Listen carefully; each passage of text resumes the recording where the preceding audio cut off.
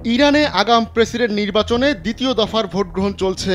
কিন্তু এদিন হঠাৎ করে ইরান ত্যাগ করেছেন দেশটির জনপ্রিয় সাবেক প্রেসিডেন্ট মাহমুদ আহমেদিনেজাদ। গেল মে মাসে ইব্রাহিম রাইসির আকস্মিক মৃত্যুর পর ইরানে এই আগাম নির্বাচন অনুষ্ঠিত হচ্ছে। নির্বাচনে প্রার্থী হতে চেয়েছিলেন আহমদিনেজাদ, কিন্তু দেশটির গার্ডিয়ান কাউন্সিলের অনুমোদন আদায় করতে ব্যর্থ হন তিনি। এবার তার দেশ ত্যাগের খবর সামনে এলো। টানা দুইবার ইরানের প্রেসিডেন্ট ছিলেন মাহমুদ আহমদিনেজাদ। সাধারণ চালচলন কিন্তু দেশের নীতির প্রশ্নে অবিচল আহমেদিনেজাদ খুব দ্রুত জনপ্রিয়তা পেয়েছিলেন। তবে ইরানের সর্বোচ্চ নেতা আয়তুল্লাহ আলী খামেনির সঙ্গে তার বিরোধের কারণে তৃতীয় দফায় প্রেসিডেন্ট নির্বাচনে দাঁড়াতে পারেননি আহমেদিনেজাদ।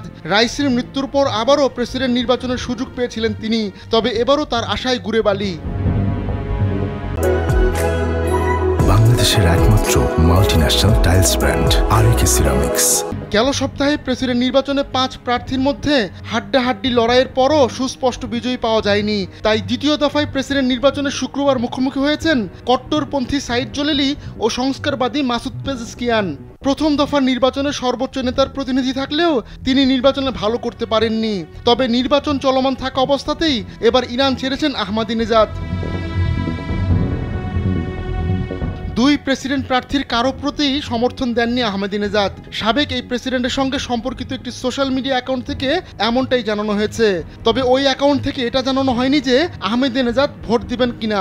স্থানীয় সংবাদ মাধ্যম রাউদা টোয়েন্টি ফোরের বরাত দিয়ে লন্ডন ভিত্তিক ফার্সি ভাষার নিউজ চ্যানেল ইরান ইন্টারন্যাশনাল জানিয়েছে, দেশ ছেড়েছেন আহমেদিনেজাদ। তারা বলছে, চার দিনের সফরে তুরস্ক যাচ্ছেন সাবেক এই প্রেসিডেন্ট।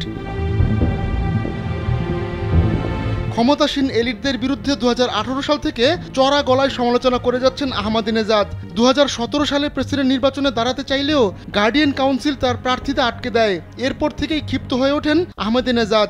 এবারও গার্ডিয়ান কাউন্সিলের খড়গ নেমে আসে তার উপর। তাই নির্বাচনে দাঁড়াতেই পারেননি আহমেদিনেজাদ।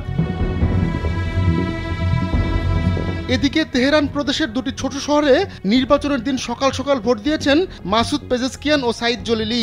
পেজেস্কিয়ান শাহরি ই কটসের একটি স্কুলে এবং জলিলি কাঠচকের একটি মসজিদে ভোট দেন। প্রথম দফার নির্বাচনে পেজেস্কিয়ান কট্টরপন্থী জলিলের চেয়ে কয়েক লাখ ভোটের ব্যবধানে এগিয়েছিলেন তবে কোনো প্রার্থী প্রয়োজনীয় পঞ্চাশ শতাংশ ভোট না পাওয়ায় দ্বিতীয় দফায় নির্বাচন অনুষ্ঠিত হচ্ছে।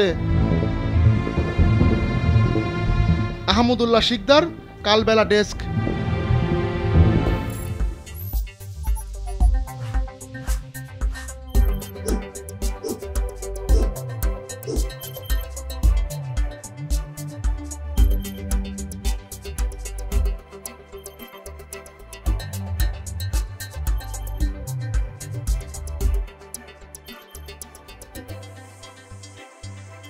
Bye.